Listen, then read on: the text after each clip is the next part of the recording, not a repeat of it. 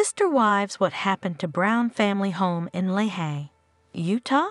Hello, viewers. Welcome to my channel. I hope you are well. If you like the video, please subscribe and stay tuned for new videos. It's been quite some time since the Sister Wives cast lived in Lehi, Utah. The Brown family obtained the home when Kody Brown only had three wives and it was perfectly set up for their family at the time. Of course, the dynamic shifted when Robyn and her children entered the family. When they moved to Las Vegas, each wife built her own home on a big cul-de-sac that Kody could visit with ease. It was a different setup than the Lehi home, but it also seemed to work for them. But what exactly happened to the Lehi home when the Brown family moved? Sister Wives fans remain curious about the Lehi home.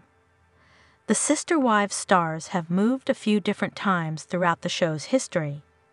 Once they move on to a new city, many fans are curious about the state of their old homes. On Reddit, fans recently discussed the Lehi house. Do they still own the Lehi house? If so, who lives in it now? One curious Sister Wives fan asked on Reddit. They sold it in Tilde, 2016. If you Google Sister Wives Lehi House, there's a blog from the woman who bought it. She talks about the house itself and also chronicles her own life as a polygamist. Another helpful Redditor replied. The blog is called Speaking of Polygamy. As of the summer of 2024, it appears to still be active. The author has several blog posts that speak about Kody Brown and Sister Wives. In one 2023 post entitled Mormon Renegade, the author even admits Kody has tried to get her family to be on reality television as well. My polygamous family has had a few opportunities to be on reality TV shows.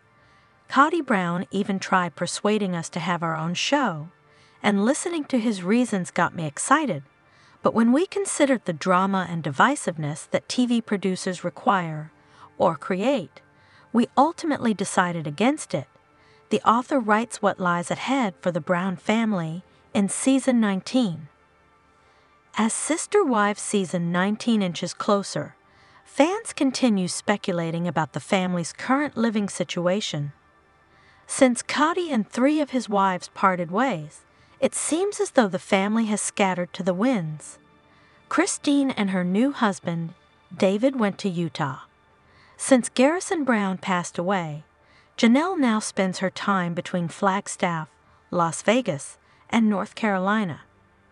And at this point, many fans wouldn't be surprised to learn more moves are in store. Were you surprised to learn what happened to the Brown family home in Lehi?